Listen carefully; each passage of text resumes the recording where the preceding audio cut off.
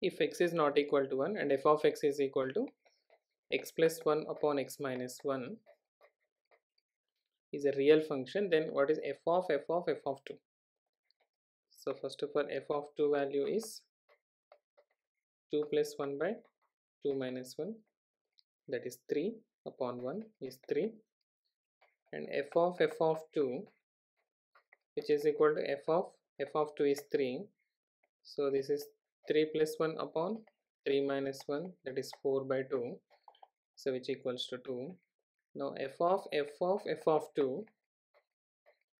which is equal to f of f of f of 2 is 2 so this is f of 2 is same as again 3 we can give.